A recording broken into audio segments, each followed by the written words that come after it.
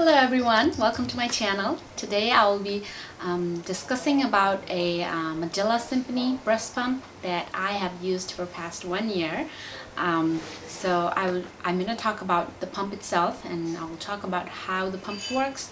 I will talk about some pros and cons and finally I will talk about how, what questions that you can ask before you rent or buy. So first of all, so this is how the pump looks.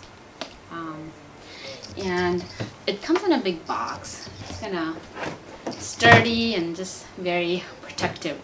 Um, so these pumps, this pump cost um, about 1,500 to $2,000. So most likely you won't be buying. I mean, if you would buy, I mean, that's great, but most of the moms will rent. So in the hospital, um, it can also be uh, rented through Babies R Us or some other stores, but most of the time the hospital that you are in are the closest hospital that you are um, uh, located uh, depending on your area. So when you rent the pump, it can range from $60 to $80. I am renting uh, $60 per month. And um, so when you rent, the hospital gives you this box, this big box, and the pump only. So you'll need to purchase your kit that has your tubings and your valves and um, set up other things. Um, so that's for you to keep and for you to um, just have it. But when you return it, you only return the pump and the box. So, so now I'm going to talk about how to use it. So when you bring the pump, you will put in your um, these valves. Look like this. So you put in these valves right here on the top. It looks like this. And um, you'll close it, tight, and the tubes go along this way. And the tubes you will connect on the bottle. So every Medela is pretty similar. Um, so you connect right here.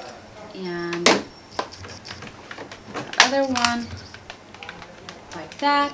So once you're connected, and you'll put it in your um, breast. So you will um, click on this dial. So there's only three things in here. There's a dial and there is a um, turn on and off and there is this button does uh, massaging motion and then let down motion. So uh, first it will massage and then they'll like suction it. So once you you turn on turn on and so I wouldn't recommend doing high because this pump is really strong. So you want to do it like maybe three dots. There's like a dot black dots that will show you. And then once you get used to then you start. So every um, every suction motion every um, like massaging motion is two minutes. And then so it will automatically switch to suction motion. So you can do it before when you're ready um, before two minutes but um, if you just want to follow and massage your breast while pumping then um, then you don't have to. So um, now I'm gonna go over why I like this. So number one reason I like it is because this pump is really strong. Um, this pump is um, it mimics they say it mimics the baby's uh, sucking motion. I 98% I agree because I've used a lot of other pumps and I still have it and I use it depending on where I am and what I'm doing and what's convenient for me. Um, so I do agree that it does take out a lot of milk than any other pump that I've used so far.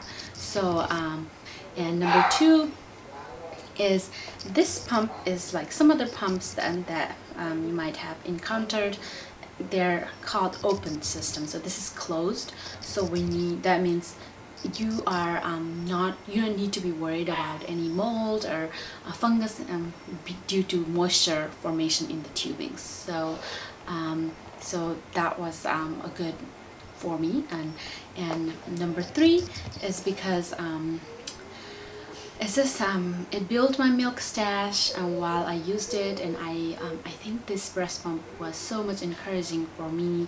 Sometime when I had like uh, the milk ducts formed um, the when your breast gets very hard when your baby doesn't take out all of it and at the time when you massage it it does take time but when I massaged it and I just worked my way around it, it this breast pump was the one that removed all my milk so I give so much credit for building my stash of milk um, and also uh, emptying my breast so much uh, some of the disadvantages of this pump.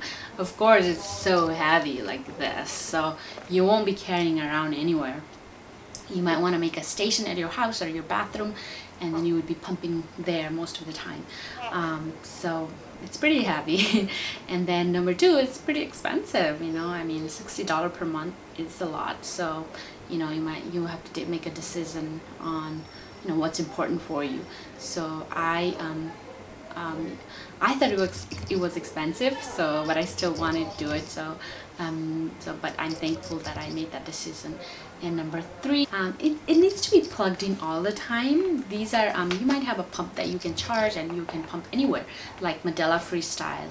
Um, the one I have is you can pump anywhere, but this one it needs to be plugged all the time. So this pump, and um, so now I'm going to talk about what question you can potentially ask when you are renting or buying. So how old is the pump? Because I've heard moms who had really bad ex experience with this one because it was just not strong it was just not working well and that is possibility depending on how old the pump is how many times people have used it and how they used it and how they handled it it's you know you won't know people who's giving you for rent might not be breast pumping so they might not be expert on it. So you want to ask that question. And um, number two you could possibly ask on average how often this pump has gone on rent? And on average how many months have been used?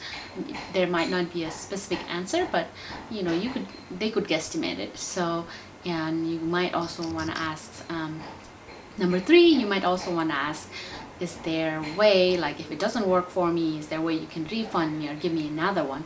Because a mom that I uh, know from a mom group she had a really bad experience and they could not even re refund her money. And just a mom who is planning to breastfeed or also you know your baby doesn't take your um, breast and you want to continue doing it I think this is a really good pump to invest on because um, it's just, it's just good. It's just, a, it's just the strongest um, so much more stronger than other pump out there in the market. Um, I'm not saying they're bad, but definitely hospital grade pumps are really strong and they do things that they claim. So yeah, um, I'm gonna put the link below from where I rented, but you might want to look for the area wherever you are um, um, closely located. So yeah, other than that, I am really thankful that you uh, you watched my video. But other than that, I am um, gonna see you in next video.